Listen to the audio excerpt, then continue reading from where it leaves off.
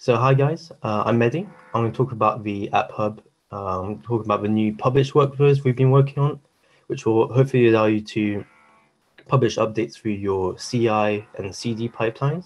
I'm going to talk about the App Hub guidelines, which we've updated very recently, and that um, well you should follow when you submit to the App Hub, and I'll walk you through that.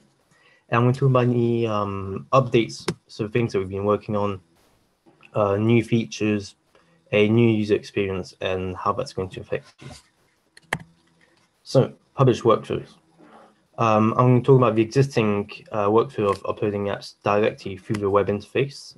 And I'm, I'm going to be talking about the uh, upcoming feature that we're very happy to introduce uh, very soon, hopefully, which is using the uh, D2 uh, command line uh, utility to uh, publish your apps directly from either your CI, CD pipeline, or maybe even uh, manually from your machine, uh, which is a workflow very similar to what you may have with the experience through NPM and maybe some other package managers.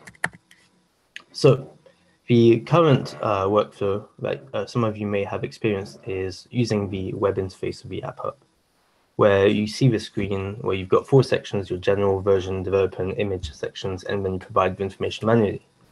Now, of course, of this information will be similar for all of your apps, like your developer information should be the same for most of your apps if you're part of the same organization. Uh, maybe even some of your um, logos and screenshots very similar, and then your version information, uh, as in the minimum and maximum DHIS versions, might be similar across applications. So we wanted to standardize this workflow, make it easier for you guys, and uh, we've introduced API keys as well as the uh, D2 Publish tool, which I'm going to walk you through now. So before we can uh, discuss these tools, I'd like to talk about the new API key screen of the App Hub. So if you go on the uh, sidebar, uh, you should see an API key section, uh, which will invite you to generate your own API key that you can then use to talk to the App Hub. And this API key will be, uh, well, first of all, it should be treated as a password. So each user, so each App Hub user, so that will be your own account at the App Hub, gets its own API key, and that key lets you do pretty much anything that you can really do through the web interface. And uh, because of the power that comes with it, you should really treat these keys as passwords. So please don't commit them to any public repos. Uh, store them as a secret in your CI pipeline. Um, most pipelines allow you to do that. And then, of course, if you need any help setting that up, uh, feel free to contact me and I'll try to help you out with that. Now, currently you get one API key per user, and we're hoping to make that more uh, granular in the future. Maybe multiple API keys um, per user organization. So then you can really separate uh, your different roles and responsibilities. Um, so if you have any feedback about how you think that should look like, please feel free to get in contact with me. So this API key is very important for an upcoming feature, which is publishing through the D2 uh, utility and you'll just be providing that API key as an environmental variable to the script, and that will allow the script to just talk to the app hub directly uh, without having to use a web interface, and then of course it will make it much easier to integrate with a pipeline. And this new publish script uses the uh, configuration in your D2 config.js, which should already be present in an app platform app, if you're using a, uh, if you're not part of the app platform, um, so if your application is outside of the app platform, you'll probably have a manifest, um, and we recommend just moving to the new D2 config and then using that. And through the D2 config, you can specify your app version, your minimum DHIS version, maximum DHIS version, and um, other information that you normally provide in the um, web interface. And this script is very similar to existing JavaScript tooling like NPM. So some of you may have used NPM publish before. Uh, our tool is pretty much exactly the same. It just takes your um, app, creates a bundle, and then uploads it to the App Hub using the API key. Uh, we're hoping to release this very soon. We've got a PR open that we've been working on uh, very hard lately, and we're just hoping to um, make some finishing changes and push it through. And um, yeah, so this new script will allow you to integrate your um, publishing workflow with your CI and CD instead of doing it manually.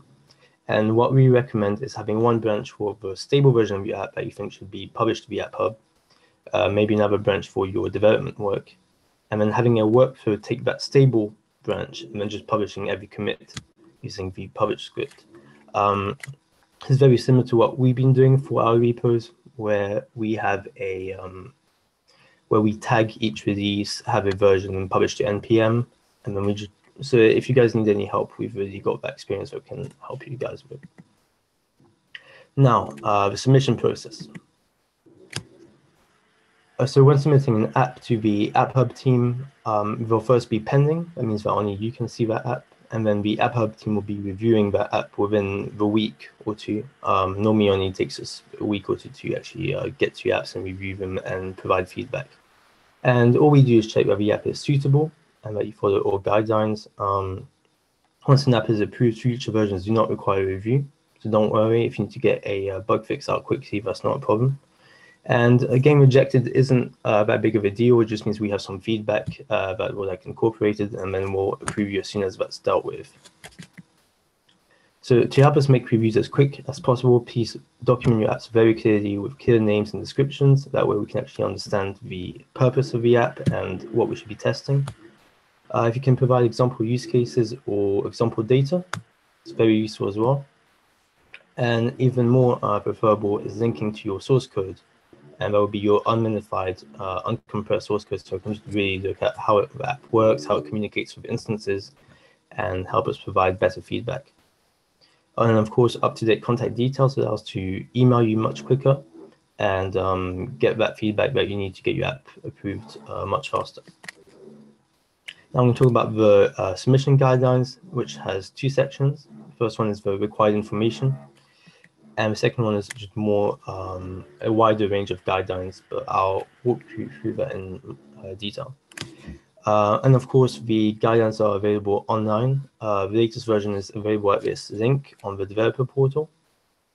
And since the documentation is open source, if anything is unclear, please just um, you know uh, fork the repo, make your changes, and um, submit pull requests. We'll be very happy to review your changes and try to make the text more clear. Now, uh, required information. So I'm going to be walking you through any information that really absolutely must be included for us to uh, prove an app. Uh, first of all is the app name. That should be very clear and descriptive. Try to capture what the app actually does in just a few words so the users you know, browsing the app hub will know exactly what they're uh, looking at. And try to avoid names that are very similar to other apps available both on the app hub and provided by us. That way it just makes it easier for users to um, it makes them less likely to be confused with other apps and um, it's just better overall. Now the uh, your app icon, uh, by making a unique app icon, um, you'll make your app really stand out on the app hub. And um, it allows users to, once they've installed the app, differentiate from the others in the application menu. So it's actually quite important to be um, unique. It doesn't have to be uh, a work of art. We just want something that you know is very clear and unique. And your description is also important for users that actually want to um, explore what your app does on the App Hub. So once they click through, they'll see your description. Uh, that'll be pretty much the first thing they see. And it should just answer two questions really. What does this app allow the user to do and who is it useful for? Uh, we've also got uh, screenshots and source code as part of our required information guidelines. So screenshots are just two to three images of uh, most important screens of your app. Um, you can upload as many as you think are useful. We don't really have a limit, um, but there's no need to show every screen. Just focus on the main ones and try to show any example data if you can, like placeholder data, since empty screens are very uh, useful. Uh, your source code.